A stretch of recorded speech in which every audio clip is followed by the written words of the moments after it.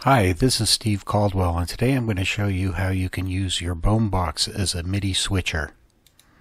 The diagram here depicts a typical scenario where a musician on stage can use his MIDI keyboard to remotely switch to one of two offstage synthesizers. In this tutorial, we'll set up the project file in Bome MIDI Translator Pro on a computer and test it there.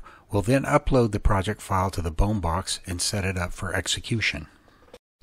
First, we go ahead and create a new project file. and the first thing I usually like to do is set up some generic aliases. That way, when you move the file up to BomeBox, you can reassign those aliases to different devices if they're different on the BomeBox.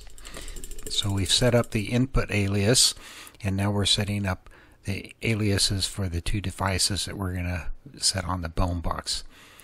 I'm just assigning them here to Bome MIDI Translator 1 virtual ports and Bome MIDI Translator 2 virtual ports, but they'll be reassigned on the BomeBox.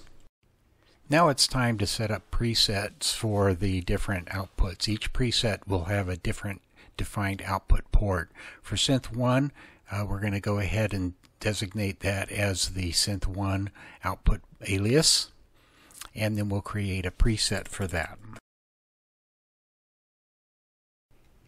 This one will set up as any 3 byte incoming MIDI message.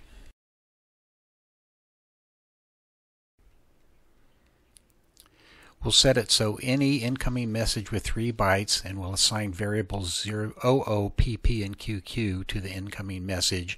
The outgoing message will be the same thing, so the message will be unchanged.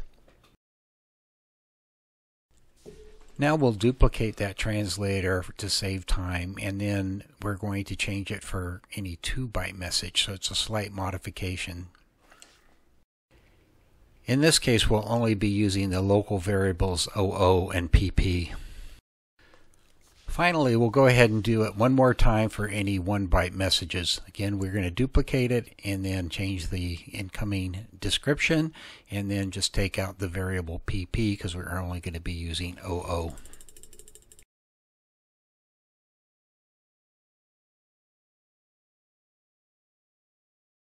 Okay, so now to save time, all we really need to do is duplicate that preset for Synth 2, rename it, and then we'll assign the output for that preset to go to synth 2 instead of synth 1.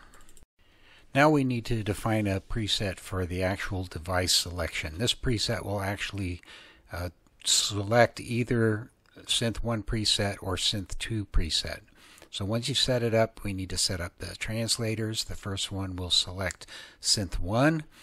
Uh, we'll capture an incoming message and then we'll just click on that. It pulls it over into the incoming trigger. And then the outgoing action will be to uh, enable preset or activate preset synth 1 note that I've also checked deactivate other presets. Now we'll duplicate that translator for synth 2 uh, the outgoing action will actually activate the other preset. And of course we need to use a different incoming trigger to get to synth 2. So we just again use the capture MIDI and click on the incoming message. To prevent this preset from getting deselected, we need to make sure we check it as always active as shown here. Now let's go see it in action. Pressing the first button, as you can see, selects synth 1. Pressing the second button selects synth 2. Pressing the first button again takes it back to synth 1. Now that we've finished with the project, we need to log into the BomeBox and upload it there. Click on Browse to select the file on your local computer.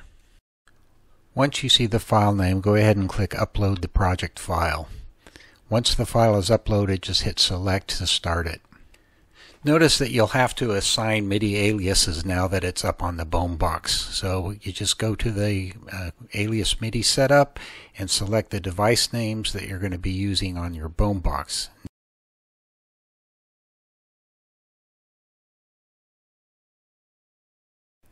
Of course, don't forget to press save. If you want to control switching of multiple hosts or applications using your MIDI device connected to BomeBox, then check out our next tutorial which will be coming soon. As always, thanks for watching, and if you have any questions, feel free to reach us at www.bome.com.